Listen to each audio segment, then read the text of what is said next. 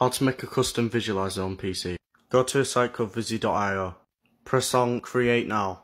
Please note you will have to sign up or sign in with an account.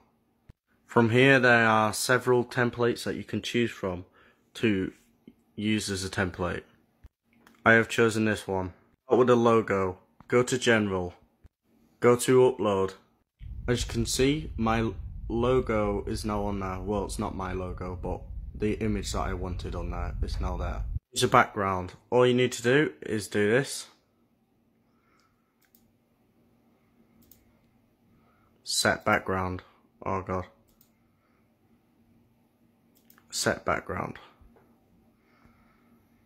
Then you want to choose audio. Find the audio.